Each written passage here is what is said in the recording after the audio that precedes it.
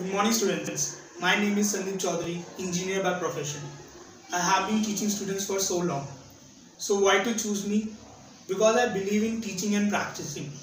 I like to teach in depth and in the easiest way possible.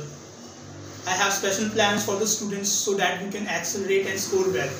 So you want to know how? Come and join me online with Study Helpline. Thank you.